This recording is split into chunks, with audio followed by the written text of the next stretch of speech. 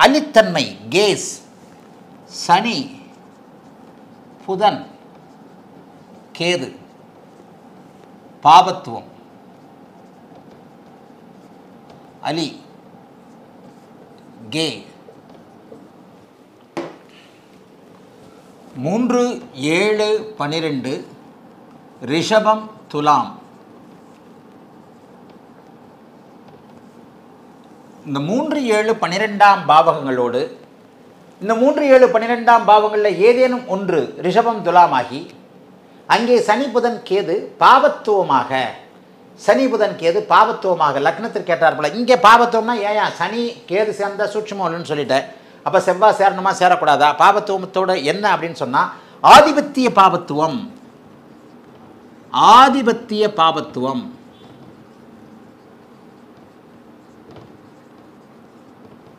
அதாவது ஆறு எட்டு பன்னிரெண்டாம் அதிபதிகளோடு. ஆதிபத்திய பாவத்துவத்தோடு மூன்று ஏழு பன்னிரெண்டாம் பாவகங்களில் அல்லது ரிஷபதுலாம் வீடுகளில் சனி புதன் கேது போன்ற அமைப்புகள் ஆதிபத்திய பாவத்துவத்தோடு இருந்திருக்கும் போது ஒருத்தவர் கே ஆவார். அலித்தன்மை இதுக்கு கேதுவும் ஒரு காரணம். கேது மட்டும்தான் காரணம் கிடையாது. அந்தந்த ஜாதகங்களின் அடிப்படையில் ஒருத்தர் கேயவாக கேயாக இருக்கிறாரா? முக்கியமாக ஏழாம் இடம் உறவு ஸ்தானம். முக்கியமாக செக்ஸ் காமம் என்று சொல்லப்படக்கூடிய ஏழாம் பாவகம். இதற்கு காரக ரீதியிலாக சுக்கரனையும் பார்த்தணும் அதுக்கு தான் சுக்கரனுடைய வீடுகள்னு சொன்னேன். எவ்வளவு காம்பினேஷன்ஸ் ஜோதிடம்ன்றது என்ன அது? பயங்கர காம்பினேஷன்ஸ் ரிஷபதுலாம்னு ஏன் சொன்னேன்? சுக்கரனுடைய வீடுகள். துலாத்தில் ஒட்டு மொத்தமாக இவங்க உக்காண்டாங்கய்யா போட்டுடுறேன் துலாம் வந்து காலபுருஷனுடைய ஏழாம் வீடு. சுக்கரனுடைய ஆண் தன்மை வீடு.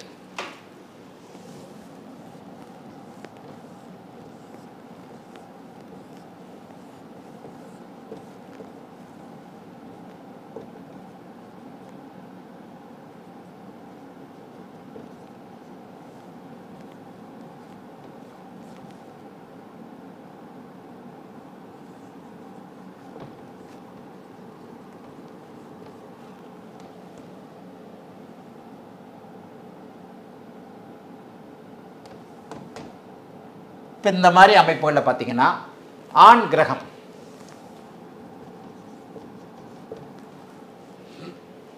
லக்னம். உதாரணம் தான் உடனே இது எல்லாத்தையும் பார்த்துடக்கூடாது தசாபக்தி அமைப்புகள் ரொம்ப முக்கியம். தசாபக்தி அமைப்புகள் மிகவும் முக்கியம். இது ஒரு உதாரண ஜாதகம். இப்போ இங்கே பார்த்தீங்கன்னா அலித்தன்மை இந்த மாதிரியான ஜாதகங்கள் நான் பார்த்துருக்குறேன். ஆனால் அந்த ஜாதகத்தை போட முடியாத சூழ்நிலையில் உதாரண ஜாதகமாக கொடுக்குறேன். கே தன்மை அப்படிங்கிறதுக்கான அமைப்புகளை கொடுக்குறேன். கே. ஆண் அலி அப்படிங்கிற அமைப்புகளுக்கான உதாரணத்தை கொடுக்குறேன். இது மாதிரியான ஒரு நூறு இரநூறு ஜாதகம்லாம் வச்சுருக்குறோம். ஏன்னா சில நேரத்தில் இப்போ ஓப்பனாகவே டிஸ்கஸ் பண்ணுறாங்க ஓப்பனாகவே அமெரிக்க தாக்கத்தின் அடிப்படையில் ஓப்பனாகவே டிஸ்கஸ் பண்ணுறாங்க சமீபத்தில் கூட ஒரு மலேசிய சகோதரி ஐயா நான் வந்து ஓரின சேர்க்கையாளர். நான் வந்து அமெரிக்காவில் இருக்கிறேன் நானும் ஒரு பெண்ணும் மட்டும் வாழ்கிறோம். நாங்கள் கடைசி வரைக்கும் நாங்கள் ரெண்டு பேரும் தான் திருமணமான கணவன் மனைவியாக இருக்கிறோம் அப்படின்ட்டு. ஏகப்பட்ட ஆண் சகோதரர்கள் வந்து நிறைய பேர் என்கிட்ட அப்படியே வெளிப்படையாகவே ஒத்துக்கிட்டு என்னுடைய ஜாதகத்தை நீங்கள் ஆய்வுக்காகவே சொல்லியிருக்கலாம். நான் அமெரிக்காவில் இன்னொரு ஆணோடு குடித்தனம் நடத்தி கொண்டிருக்கிறேன். இன்னொரு ஆணை நான் திருமணம் செய்து கொண்டிருக்கிறேன். எனக்கு இதில் தான் விருப்பம் அப்படின்னு கலாச்சாரம் மாறுபாடு ஓரளவுக்கு நம்ம அவங்கள அங்கீகாரம் பண்ணக்கூடிய லெவலில் வந்துட்டோம். இது ஒன்று அவர்களுடைய தவறு அல்ல. ஹார்மோன்ஸோட விஷயம் தானே? உங்களுக்கு வந்து சாம்பார் பிடிக்குது ஒருத்தருக்கு ரசம் பிடிக்குதுன்ற மாதிரியான விஷயங்கள்னு அப்படின்றத நம்ம டேக்கிட்டீஸியை எடுத்துக்கிட்டதுனால அதுவும் ஜோதிடத்தின் ஒரு அடக்கமாக இப்போது நான் உங்களுக்கு சொல்லிக் கொடுக்குறேன். இந்த சனி புதன் கேது அமைப்புகளை இப்போது ஒருவர் கண்டிப்பாக உணர முடியும். ஏன்னா இதே மாதிரி ஒரு ஜாதகத்தை இதை மட்டும் வச்சுக்கிட்டு மற்றதை நான் மாத்துறேன். நான் பார்த்த ஒரு பத்து இருபது கே அவர்களுடைய ஜாதகத்தில் இந்த சேர்க்கை கண்டிப்பாக இருக்கிறது.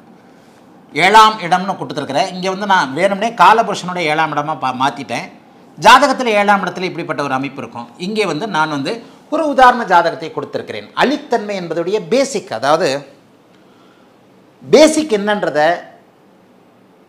கணக்கை வந்து ஒவ்வொரு கணக்காக போடாமல் ஃபார்முலாவை சொல்லி கொடுக்கறது ரொம்ப பெரிய முக்கியத்துவம்.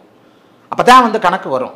கணக்கும் ஜோசியமும் ஒன்று தான் அப்போ உங்களுக்கு என்ன பேசிக் அப்படிங்கிறத உங்களுக்கு மனசில் கொண்டு வந்துடணும்னா இதுதான் பேசிக்கின்ற போது இப்போ நான் சொன்னதை போல் மூணு ஏழு பன்னிரெண்டு ரிஷபம் துலாம் சுக்கிரன் ஏழு. மூணு ஏழு பன்னெண்டு கேது சனி புதன் அன்மை அழித்தன்மையுள்ள கிரகங்கள். அப்படின்னு வந்துட்டா தான் பலன் எப்படின்றது உங்களுக்கு உரைக்கும். ஒவ்வொரு ஜாதகமாக ஒவ்வொன்றா விளக்கி காட்டிகிட்டு இருக்க முடியாது. காம்பினேஷன்ஸையும் ஃபார்முலாவையும் சொல்லிட்டாலே உங்களுடைய மனம் அதை உங்களை அறியாமலேயே கணக்கு போட ஆரம்பித்து விடும். அப்படிங்கிறதுக்கான அடையாளமாக இப்போது கே என்று சொல்லப்படக்கூடிய அலித்தன்மை அமைப்புகளை இப்போது கேதுவின் அடிப்படையில் விளக்குகிறேன். சனி புதன் மூன்றுமே அலிகிரகங்கள் சரி இங்கே ஏன் இப்படி போட்டிருக்கிறேன்? ஆண் கிரகமான குரு நீச்சம். ஆண் கிரகமான செவ்வாய் திக்பலம் இழந்து நீச்சத்திற்கு அருகில் இருக்கிறார். நான் சும்மா தான் போ ஏன்னா இங்கே இப்படி நேரம் போட்டாச்சுன்னா சுபத்துவம்னு வந்துடும் நேரம் போட்டாச்சுன்னா அவர் இங்கே ஒரு இருபத்தொம்பது டிகிரியில் இருக்கிறாரு இங்கே. குருவின் பார்வை செவ்வாய்க்கு இல்லை. செவ்வாய் நீச்ச பகை வீட்டில் இருக்கிறார். இரண்டு மாபெரும் ஆண் கிரகங்கள். இங்கே வந்து சூரியனை கூட இங்கே போட்டுக்கோங்க. ஆண் கிரகங்கள். சூரியன் செவ்வாய் குரு. ஆண் கிரகம் ஆண் தன்மையுள்ள கிரகமான குரு நீச்சனாகி இன்னொரு ஆண்மையை குறிக்கக்கூடிய கிரகமான செவ்வாய் நீச்சத்திற்கு அருகில் திக்பலம் இழந்த நிலையில் இவருக்கு அங்கே சுபத்துவம் இல்லாத ஒரு தன்மையில் இங்கே இன்னொரு ஆண் கிரகமான சூரியன் எட்டில் மறைந்து சுக்கரனும் எட்டில் மறைந்து. அத்தனை நான் சொன்னது எல்லாம் வருது பாருங்க. இங்கே லக்னத்தில் ராகு அமர்ந்து லக்னம் ஆண்மை தன்மையை இழந்து லக்னம் இயல்பான தன்மையை இழந்து லக்னத்தை சனி புதன் கேது போன்றவைகள் ஏழாம் இடத்தோடு தொடர்பு கொண்டிருக்கின்ற நிலைமையில் ஒரு ஒரு உறுதியாக கேயாக இருப்பார். இது உறுதியான நிலைமை. அவருக்கு இயல்புக்கு மாறான மாறுபாடான வேறு விதமான இயற்கைக்கு விரோதமான வகையில் உறவுத்தன்மைகள் இருக்கும். அது அழித்தன்மை கொண்டதாக இருக்கும். இது பேசிக் இதில் ஒன்று மாறினா கூட ஐயா இங்கேருந்து குரு பார்த்துட்டாரு. முடிஞ்சு போச்சு அவ்வளோதான் ஒரு சின்ன ட்விஸ்ட் வந்துட்டா கூட பலன் மாறிடும்.